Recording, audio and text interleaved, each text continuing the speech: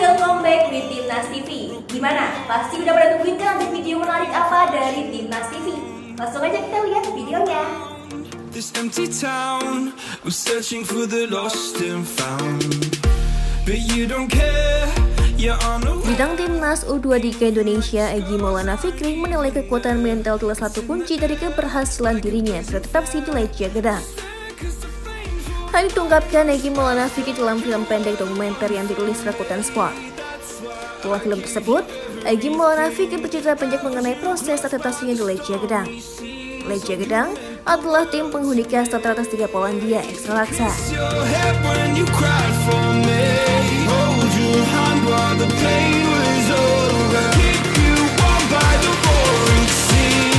Diketahui, manajemen Legia Gedang sempat khawatir dengan proses adaptasi Egy Maulana Fikri pada masa awal kedatangannya ke Polandia.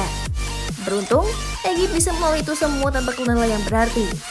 Pelatih fisik Legia Gedang Demian Korba mengatakan bahwa Egy punya mental juara.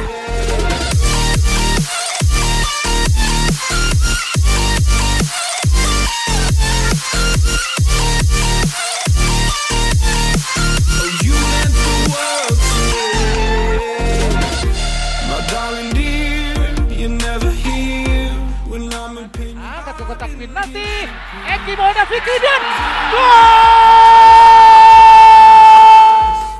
Kabar terbaru, Egy Maulana Fikri pun memamerkan dua gol indah yang dicetak bersama Legia Gedang.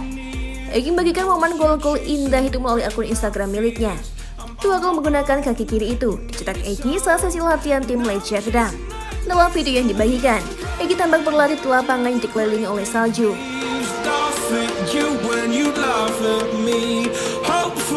Us because I believe the home was just you and me. I thought you were the one for me. That's Egy sendiri sedang menjalani musim terakhirnya selesai kontrak yang tanggalnya tahun 2018 lalu. Kontrak Egy Gedang akan habis pada 30 Juni 2021 dan sejauh ini belum ada kabar terkait perpanjangan kontraknya.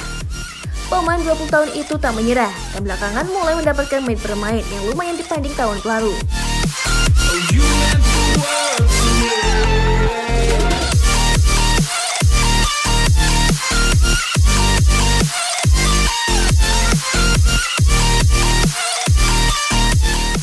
Musim ini, Egy baru bermain dalam pertandingan bersama Legia. Ia mencetakkan 5 menit tampilan sebanyak 62 menit. Dalam perkembangannya pun, ia pun membuat sang pelatih mengakui bahwa kepemimpinan timnas Indonesia itu memiliki skill yang apik dalam bermain sepak bola.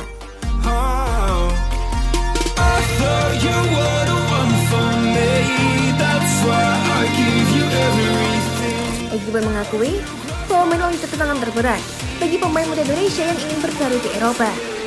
Kondisi yang jauh dari keluarga dan teman tentu bisa membuat para pemain muda itu rindu kampung halaman. Namun terlihat jelas kini bahwa Egy Maulana terus berusaha untuk menampilkan performa terbaiknya.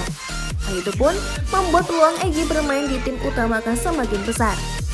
Egy Maulana sendiri juga mampu menunjukkan permainan apiknya di beberapa kali coba dan Legia Gedang Stua.